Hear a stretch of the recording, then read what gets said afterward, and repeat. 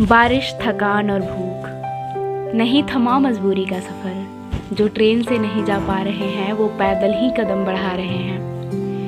क्योंकि वक्त और हालात ने तो वैसे भी पैरों में बेड़ियाँ जकड़ रखी हैं। पूरे देश में त्राही त्राही मची है। कहीं कोई बेटा खुद दूसरे बैल की जगह बैलगाड़ी खींच रहा है तो कहीं कोई नंगे पाँव से इस गर्मी और धूप से लड़ते लड़ते सफ़र में ही शहीद हो रहा है।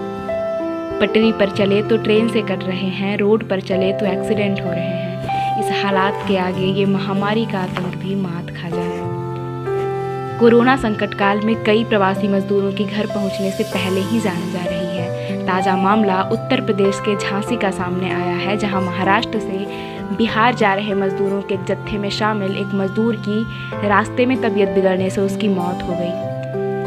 औरंगाबाद में पटरियों पर 16 मजदूरों की बलि चढ़ गई। मध्य प्रदेश के गुना में बस और ट्रक की टक्कर ने आठ मजदूरों को बेरहमी से मौत के घाट उतार दिया। और न जाने कितनी जाने, एक एक करके सरकार की नाकामयाबी को ललकारते हुए दम तोड़ रही हैं।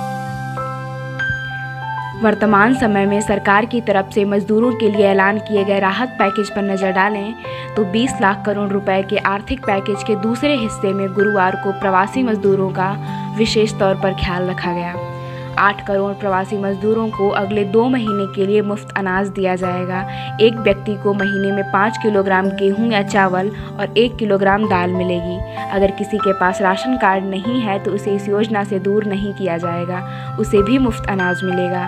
प्रवासी मजदूरों की पहचान करने, उन्हें मुफ़्त अनाज देने का काम राज्य सरकारें करेंगी। इस पर तीन हज़ार पाँच सौ करोड़ रुपए का खर्च आएगा। ये रकम केंद्र सरकार देगी। जो प्रवासी मजदूर शहरों से पलायन करके गाँव जा रहे हैं, उनके रोज़गार का भी इंतज़ाम सरकार ने किया है।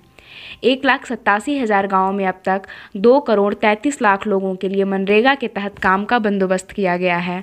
दैनिक मजदूरी को एक सौ बयासी रुपये से बढ़ाकर दो सौ दो रुपये तक कर दिया गया।